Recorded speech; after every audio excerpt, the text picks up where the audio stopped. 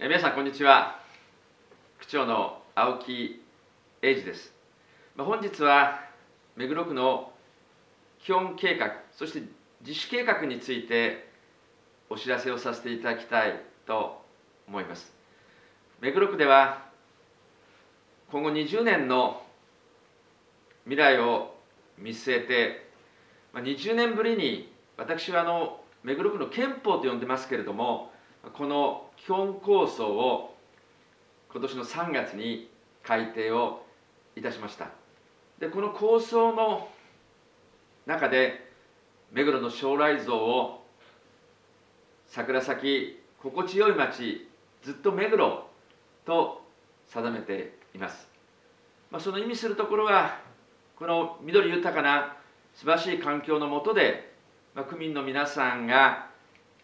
笑顔を持って日々生活をしていく、まあ、そういったことを桜に例えそしてこの時代を通じて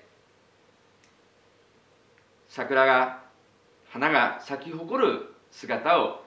イメージしています。そしてこの基本構想を着実に進めていく方向性として平和とそして人権多様性を尊重して区民の皆さんと私ども区が協力し合い誰一人として取り残すことのない地域社会を目指していくというものにしています。そしてこの基本構想に描いている将来像を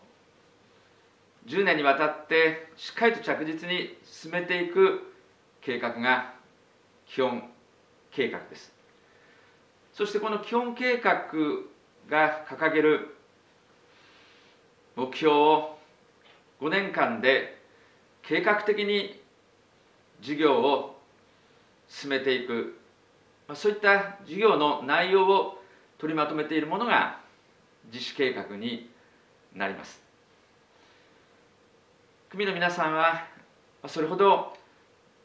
これらに馴染みがないかもしれませんけれどもこの基本構想基本計画実施計画、ま、こういった長期計画は、ま、例えて言えば28万組の皆さんが乗船する、ま、目黒丸の羅針盤の役割を担い、ま、この長期計画で日々組の皆様方にさまざまな行政サービスを私ども提供させていただいています。例えば平成22年度からこの10年間の前回の基本計画の中では私ども区政にとって極めて重要な課題でありました保育園の待機時ゼロを達成することができました。また住宅の耐震化率75.5%を83.7%までアップすることができてまあ災害に強いまちづくりを進めることができました。そして今回の基本計画では、まあ、新たないくつかのポイントがあります、まあ、3つほどご紹介をさせていただきたいと思いますけれどもまず1つ目です。貧困をなくすなど17の項目を掲げています。持続可能な開発目標。 Sustainable Development Goals いわゆる SDGs と今回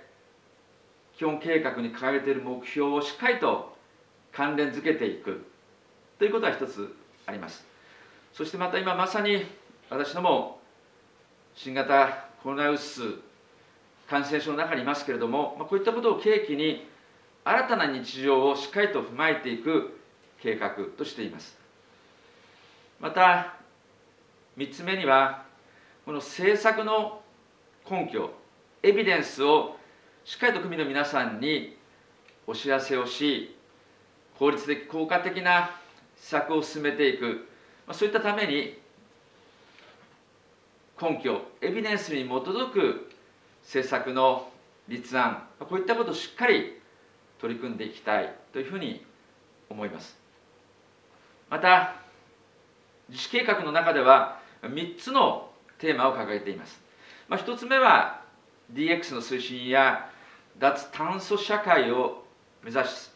将来への投資。そして2つ目は学校の ICT 化など時代を担うお子さんたちへの対応。そして3つ目は道路や橋梁の強靭化また地域の防災力の向上など安全で快適なまちづくり、まあ、こういった3つのテーマを掲げてこの5年間しっかりと実施計画を進めていきたいと思っています。そして今私どもは基本計画実施計画という未来の計画書を作っています。ですがこの計画書は私ども行政だけで行うものではありません。目黒のまちづくりは区民の皆さんと共に作っていくものです。したがってぜひ私たちと一緒に未来の計画書作りに皆さん参加をしていただけませんか？そこで今私どもはこの11月1日目黒区法の中でも取り上げておりますけれどもみんなで作る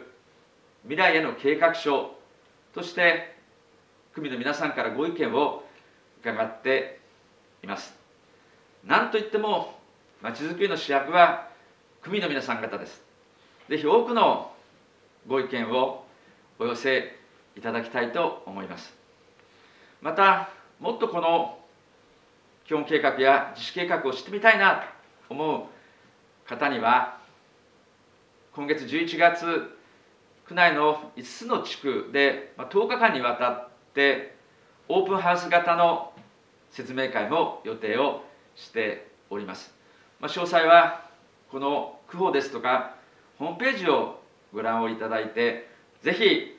会場にお立ち寄りいただきたいと思います。私どもお待ちをいたしております。以上区長青木英二からの基本計画実施計画についてのお知らせです。